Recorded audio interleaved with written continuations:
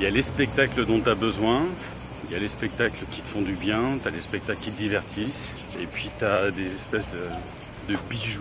Tu seras un homme papa. C'est c'est grand. Et c'est. C'est une bombe. hein. Vraiment, c'est une bombe. Ce soir, il y a énormément de pression, énormément d'enjeux. Parce que, effectivement, on a des gros programmateurs dans la salle. C'est une vraie belle salle. Donc, j'espère que ça va fonctionner. Alors moi c'est très long parce qu'il y, y a un peu de surface. Donc tu vois, euh, 15 jours de festival, euh, voilà le c'est- Moi j'ai, je pense que j'ai l'équi- l'équivalent de 5 cigales. Hein, euh. Ah mais qui est... Ouais Colocataire pour toute la vie. Pour fêter cet appart, je ébranler. Moi, pour ma peine, je ferai le petit déjeuner. Plus que deux jours. Et retour à Paris. J'ai fait la plupart des rendez-vous que j'avais à faire. Après, j'ai croisé aussi. Euh... Ça sert à rien de le dire. ça.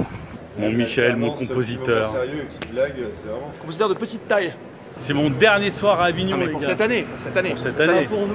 Ou peut-être pour la de, tout- de tous les temps. Mais non Peut-être que je ne reviendrai plus jamais. Ouais c'est ça. Je me suis dit c'était peut-être le dernier Avignon. alors. Il va revenir, il va revenir en fait.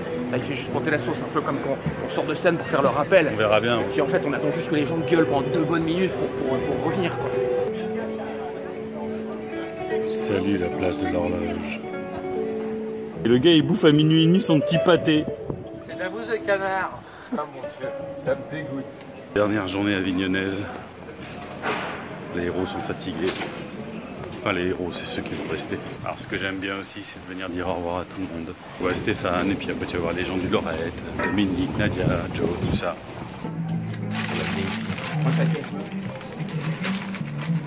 Oh, dis donc, ils sont beaux.